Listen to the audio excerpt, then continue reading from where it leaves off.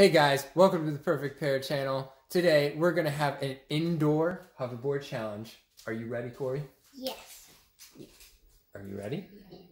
It's gonna be epic. Awesome. All right. Stay tuned.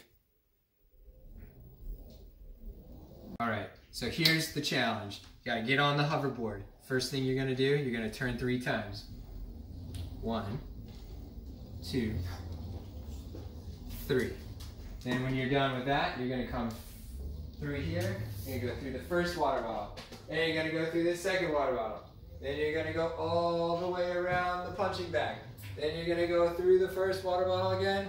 Then back to the second one. And then you're going to end with three turns. One, two, three. Ta-da! And then the time stops. All right, to see who goes first, we're gonna do rock, paper, scissors. Are you ready? Yes.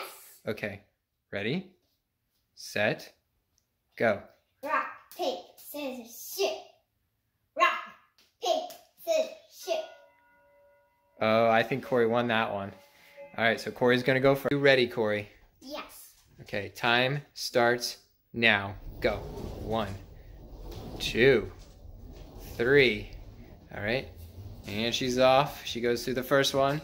She goes through the second one, and then she goes around slowly, slowly. Oh, perfect.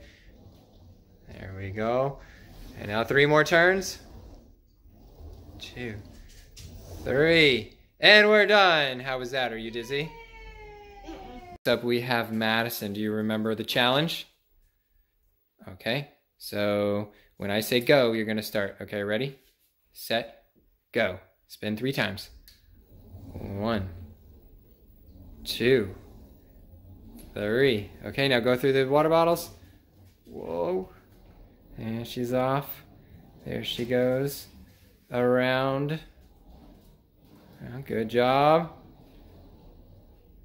And then three more turns, three more spins. One, two, three, and we're done. Good job. Hey guys, that seemed too close to call on my end. Comment down below to see who won. Thanks so much.